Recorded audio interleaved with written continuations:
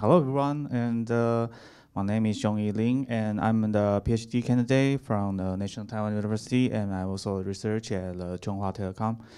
So um, uh, in this research, we discuss how to use the extensive the telecom uh, data to uh, we to uh, combine with the sparse the vehicle uh, detect data to predict the traffic flow in the area without the camera, uh, which is uh, a form of the cross modal prediction. And uh, this presentation will last about uh, 10 minutes. Okay, so uh, here's our outline. We start with how we utilize the telecom data and why we need the cross modal prediction. Then we describe, uh, describe how we uh, collect the data set. Next, we present our proposed framework and how we uh, conduct the experiment.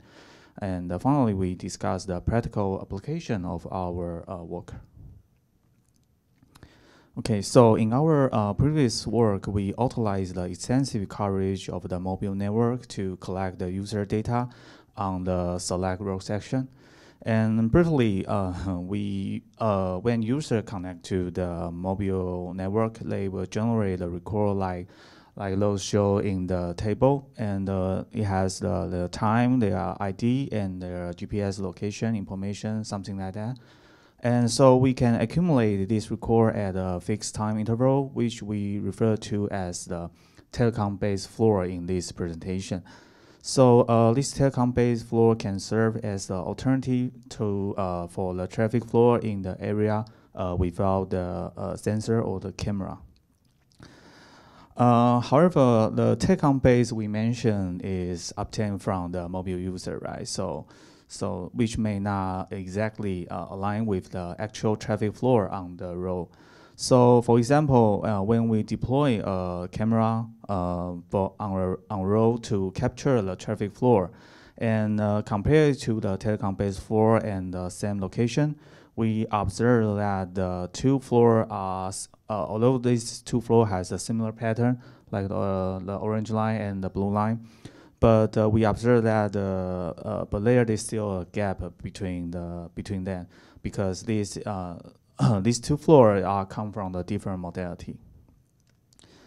Okay, so uh, so our goal is shift to use to the telecom-based floor combined with the limited uh, vision-based floor to make the prediction like close align with the actual traffic flow. So uh, by performing such a cross-modal prediction, we can take advantage on uh, both uh, extensive coverage and uh, uh, ensure that the prediction are aligned with the actual traffic flow. Okay. So uh, in this research, we provide a data set like including telecom-based flow collect from the about uh, 15 uh, rock session and the vision-based floor from collect, uh, collect from only 10, 10 camera very, is very sparse, which, which leads to support our goal of cross-modal prediction. Um, to ensure that the accuracy of the vision-based flow, we manually label the training data for the detection or the tracking algorithm and then fine tune them for the Taiwan environment, uh, such as very dense uh, motorbike object. Okay. So we um, propose a framework to address such a complex problem. Um, we begin by training the, the spatial temporal model for each modality data, and uh, rather than training them separately, uh, uh, sorry, um, rather than training them uh, together, uh, to, pre to prevent the bias toward a specific modality. So uh, this pre-trained model will be frozen and used as a feature extractor uh, in our framework. So um, allowing us to uh, extract the spatial feature, spatial temporal feature from uh, each modality. Okay, so uh, we then develop a graph attention um, based uh, fusion model with the bipartite graph structure. Specifically, we separate the data from different modality uh, into the two distinct sides of the bipartite graph.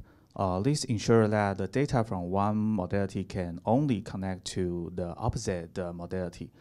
Uh, focus on the interaction, uh, focus on the, the, the, the real interaction across the modality and uh, reducing the, the graph uh, complexity.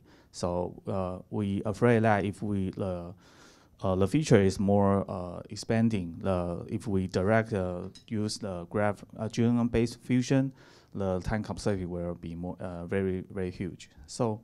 Uh, the, the graph attention mechanism is based on our technique uh, in our ICOR paper, which can improve the efficiency of handling spatial temporal data.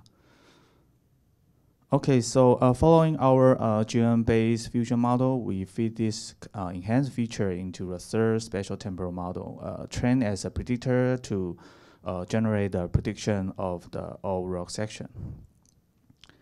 Okay, so uh, but in the training, we do not directly use the telecom-based floor as the ground truth.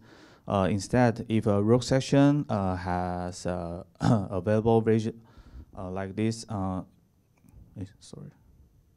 So uh, if a rock section have the available vision-based floor, we adopt it as a ground truth. Uh, otherwise, if a rock section uh, only has the telecom-based floor, we then use this uh, as a ground truth. Okay, so uh, after that, we design a join loss function, and uh, for the area with the with the vision-based floor, we calculate the loss fun lo the loss value between the prediction and the vision-based floor denoted as the LO with the W uh, on the on the left side. And uh, for the area with the without the vision-based floor, we calculate the loss between the prediction and the telecom-based floor, denoted as the LO with the uh, W slash O. So we then add the learnable parameter to adjust the impact of the uh, with the W slash O, uh, ensure that the fr our framework uh, focus more on the loss between the prediction and the vision-based floor. Okay, so uh, in our experiment, use the leave one out validation, where uh, we exclude one uh, vision-based floor data point at each time, and then test if the uh, prediction for the node align with the exclude uh, vision-based floor. So uh, this is one of the prediction for a rock in a rock section. Uh, the blue line, we, we consider that the vision-based floor as the ground truth because we want to make the telecom-based floor data uh, align with the vision-based floor. So we consider the, the vision-based floor as the ground truth. So it's blue line. And uh, uh, the dot line, uh, the, the, the, dot line uh, represent the uh, result, uh, result from the spatial temporal model only. So, and the solid line represent the result from the uh, integrate the, this spatial temporal model in our framework. As we mentioned, we use this spatial temporal model as the feature extractor or the and the predictor. So we can see that the dot line is far from uh, the ground truth, right? So, but while the spatial temporal model integrate into our framework is very close to the ground truth. Okay, so the uh, for the application, um, as our cross-modal framework can generate the prediction result very aligned, uh, cl align closely with the actual traffic, it makes our framework more practical for the real-world application like the cloud-based, the web-based uh, tra uh, transportation system. And uh, we integrate our model, uh, our framework into the real-world transportation system for the city authority. For example, the prediction that can uh, provide more intuitive uh, traffic, traffic flow monitor.